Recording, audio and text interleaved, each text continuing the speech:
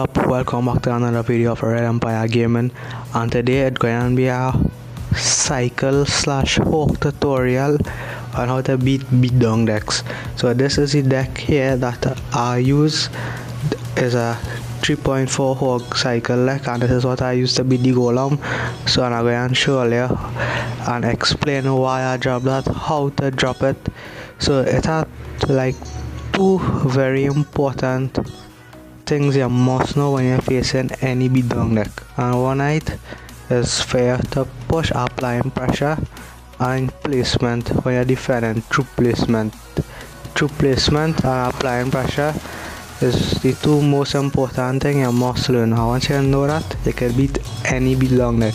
so in today's video i'm gonna show you how to beat go golem beatdown and hopefully in the next video i will show you how to beat hong so it's the same but there are a few differences. So in this video i'll explain how to beat golem in next video i'll get the difference what you have to do in beating the hong so let me jump into the replay again and try to explain it as best as i can and hopefully i'll ever learn especially new players who enter clash royale and playing cycle x. Now this is not only a tutorial for hog because other cycle x must have a kill tank so there's a mini P.E.K.K.A a cycle a pull. So once it's a cycle deck you can apply this to the deck. So let's say for example you have Inferno Tower that will come and place any mini P.E.K.K.A and so on. So let me jump into the replay. Alright so this is the replay here. So remember when you're now starting how much you will know what your opponent playing but you must always try to read the opponent's card so whatever you see try and figure out what deck you're playing against. So that will give you an advantage at the early stage. So let me play? Okay so normally with this starting on I could just with Hog I just send out Hog just so no protection. So that is exactly what I did and I was just waiting to see what he would play. And he didn't play anything so I just followed up with Archer. So when I see the baby dragon and mini P.E.K.K.A first thing I was thinking was Hong. It maybe could be a Hong deck.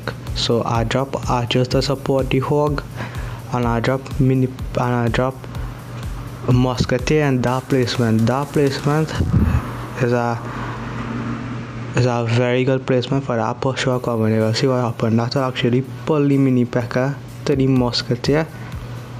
While the time the musketeer take out the mini P.E.K.K.A, the baby dragon should lock on to the tower because you're doing that on the mini P.E.K.K.A and the baby dragon to lock on to the musketeer.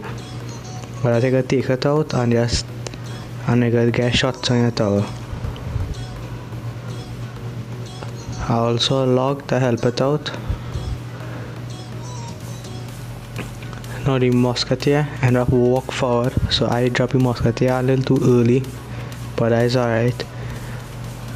So here we're just waiting that. So when I see wizard, I didn't I'm, I'm not sure now what deck I'm playing against. So I decided to fireball because that is value. And okay so now as you go along so this is where pressure is very important right? If you're doing pressure you will allow your opponent to just build up a big push behind which you cannot stop. So this is why pressure is important. So get them to split split push. So it will be one big attack or one so strong attack coming that will just take it out and you can't stop it so as you can see our ice golem hawk and he, and he weighs 4 elixir when that could be 4 elixir in the back the golem to make it an even stronger push so I drop a mini P.E.K.K.A in the back for to start work on the golem and I will, and I will drop okay so here I actually drop a musketeer to try and take out the baby dragon right so what you have to do with a golem deck is try and take out the supporting troops first so that was a misplay on my part so it could even so but golem does do so much damage so at least drop let's say you have guards or lumberjack you drop that on the golem and the rest are troops in the back you want to pull it away from the back of the golem and try and take it out as fast as possible so here I drop archers in the middle to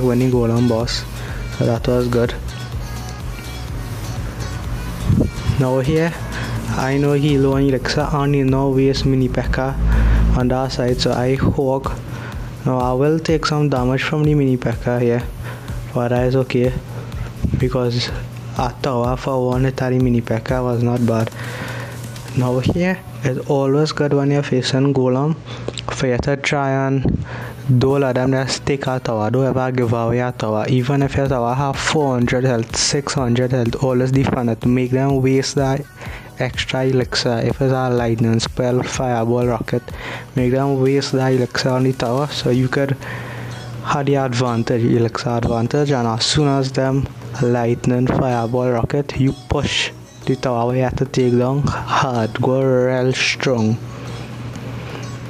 so that's why I drop in Electrowers to defend the Inferno track. So here I will just use archers to pull. As you can see I defend the tower. So when he go golem here I will rush with the archers. I just golem in the middle. Or at the end. And I should do damage as you can see he's used wizard 5 so that is 5 elixir less from the push. And actually fireball there again because I value. Unlock the take it out and do tower damage. Yeah on the next side I drop electrowers because I don't to take out the mini pressure. The already mini pressure to at least take out the golem. So I was not going to allow the inferno dragon to just take out the mini pressure. I also drop ice golem to try and protect the the the electrowers from the valve what the he ended up the valve good he the valve in the back. But as you can see the it do what I wanted the mini P.E.K.K.A take out the golem and I take not plenty damage. So he have fireball just have a faster clean up and I will hog and I log right so I log on defense just to, to take that damage and that was good game. So you can see this the versus this it was placement. Placement was key especially if he had lumberjack. Yes uh, you have to drop your lumberjack. I mean you have if you have golem coming down the bridge and you have lumberjack and prince in the back what you have to do is drop your ice golem in the middle to pull the boat drop your musketeer on the center take out that first shadow I must get the lock on the golem so that is the main thing on how to to beat golem always take out the supporting troops.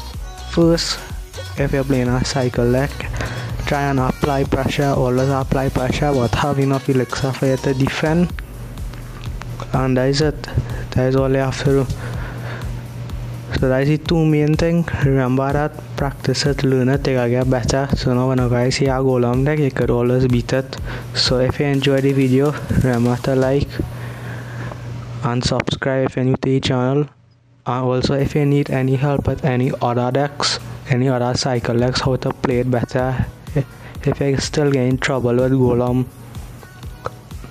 or any other decks Hip-hop comment down below. I will try my best to help all you. I might even make a video on how to beat a certain deck with your deck. So yeah, that is it. Thanks for watching. Everybody wanna do the same thing. That's why we ain't on the same page. Do my own thing and I maintain flow like water, so I'm.